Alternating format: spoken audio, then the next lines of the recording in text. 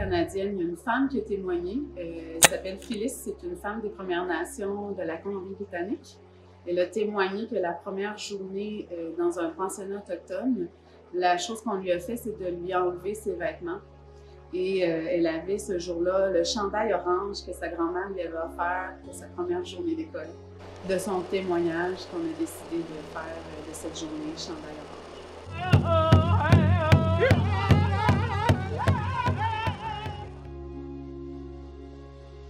Une des missions qu'on a, nous, les, rapports de Québec dans la communauté, c'est de célébrer les premiers peuples, mais à l'année longue, pas seulement lors d'une journée.